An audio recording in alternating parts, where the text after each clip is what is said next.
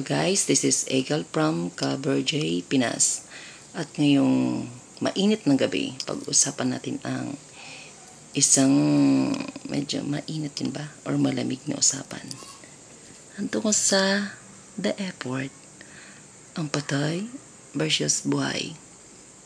Ito kasi yung kalimitan na ginagawa ng mga buhay, nating mga buhay, para sa mga mahal natin na namatay kumbaga, yung iba kasi naman talaga, buhay pa noon, uh, buhay pa yung mga mahal, mahal nilang sa buhay na namatay, yung effort talaga nila is nandun na. Pero minsan naman yung yung buhay pa, tapos nung namatay na, mas nag-effort sila dito kaysa nung nandito pa. Di ba? Para sa akin kasi masakit ah, sorry. Kasi ako guys, sa totoo lang, nawalan din ako ng mahal sa buhay. Namatay din siya. Nang hindi, mo, hindi ko inaasahan na mangyayari. Kasi lagi, nung time na iniisip ko lagi yung tungkol sa okay, may future pa. Diba? Pero, sin, pero lagi ako may tiwala sa kanya sa lahat ng nangyayari sa buhay kong hindi maganda, sabi ko, sige may reason. Sige, sabi ko, sige may rason. Okay, tapos sabi ko, sige, be positive. Kasi may rason siya, mas may maganda siyang plano kung bakit nangyayari lahat ng to. May gusto siyang, kumbaga, may gusto siyang ipaalam sa'yo. May gusto siyang iparating sa'yo. May gusto siyang baguhin sa'yo. May gusto siyang gawin sa'yo para sa kinabukasan mo. Sorry, guys, di ko makita yung kinabukasan. Ayan, para sa future. Kasi minsan, may mga bagay tayo na, alam mo, naliligaw na tayo ng landas. Tulad niya, naliligaw na yung usapan natin. Kaya balik tayo dito ulit.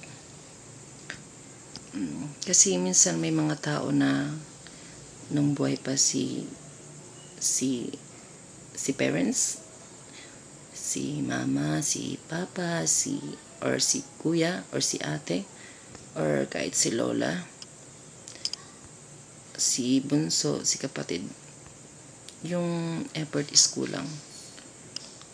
Nung namatay na nandun na yung nandun na tayo minsan nagpa-party-party tayo or nagse-celebrate tayo.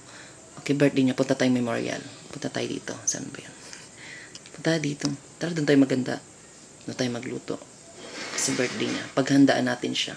Ang tanong, mm, mararamdaman niya pa ba yun? Or nakikita niya pa ba? Teka lang, ako di ko makita. Nakikita niya pa ba? Or naririnig niya ba lahat ng sinasabi niyo na matatamis sa salita? Hindi mo matamis, pero yung magagandang salita. Ba yung sabi ng sabi? Yung tipong tayo talaga. Kasama ako dun. ako nung nung nawala yun, yung taong mahal kong yun, linanok pa yung future namin. Pinanok talaga as in. Inisip ko, ano ba yung gagawin ko para sa kanila in the future. Pero at the presence, may nakakalimutan ko, may present pala at di ko alam kung ano mangyari kahit nga ito.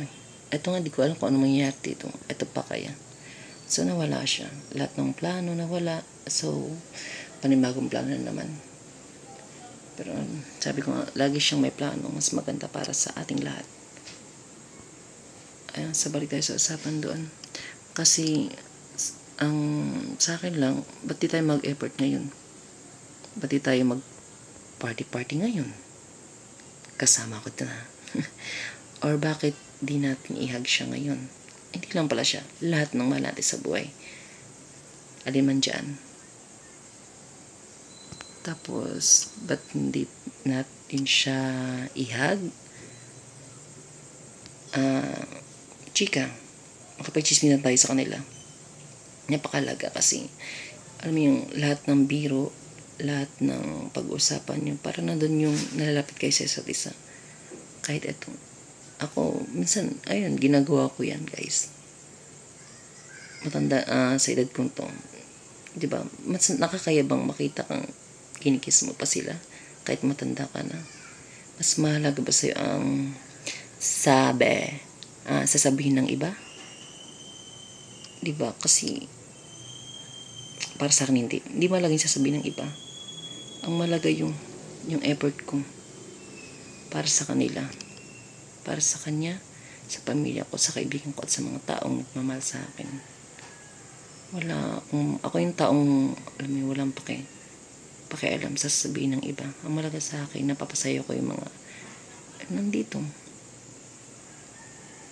Kasi kung ano man sabihin ng iba, kung baka pakikinggan mo sila, masasaktan ka lang. Pero pag hindi mo sila, pag ginayaan mo sila, at gawin mo yung sa tingin mo mas magpapasaya sa kanila, at mas magpapasaya sa'yo, dun mo talaga malalaman yung saya. Tsaka, minsan sa pakinig natin sa iba, nakakalimutan natin na gawin to. Dahil nakakahiya. Okay, nakakahiya, ayoko, ayoko. Di ba?